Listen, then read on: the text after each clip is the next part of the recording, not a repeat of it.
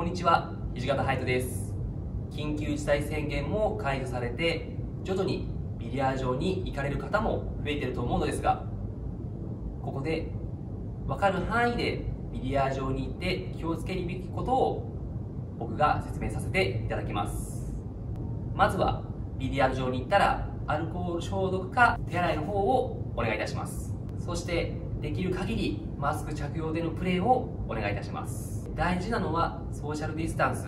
ということで2メートルの距離を保っていただくのが大事だと思うのですがここでビリヤードの2メートルはどのくらいの範囲離れればいいのかっていう目安を説明させていただきます。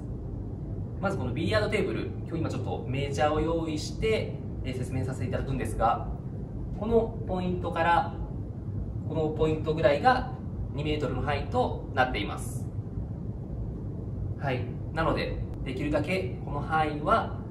え、他のお客様と近づかないぐらいの距離を保っていただければいいと思います。あとはビリヤー場で相づきなども増えてると思うのですが、まあ、人とやられる際も、ま、この距離を目安にしていただいて、まあ、もしそれが分からなければこの球の方もだいたい150センチぐらいとなってますので、まあ、この球より少し離れた場所に座っていただければいいと思います。あとは道具ですね。えー、チョークやマイキュー、まあ、詳しく言うとボールやラックなどもあるんですが、まあ、チョークやキューは結構いろんな方が使われると思いますのでできるだけこのマイチョークやマイキューを持っていただければこれからも安全にお使いいただけるんじゃないかなと思います。いろんな店舗様もプレーの後には、まあ、除菌の方やボールもちゃんと拭いていただいたりかなりケアはしていただいていると思うのですが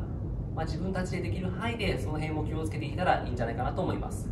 あとは手袋されてる方も多いと思うのですが、まあ、その辺の方もこまめに洗濯とかしていただくと良いと思います。そして相付きする際も、まあ、隣の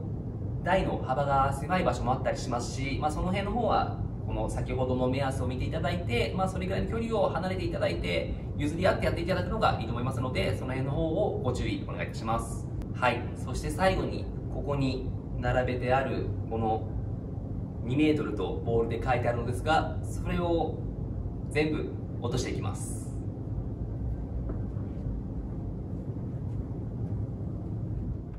はい。ということでこれからは一人一人ソーシャルディスタンスに気をつけてビリヤードを楽しくプレイしていきましょ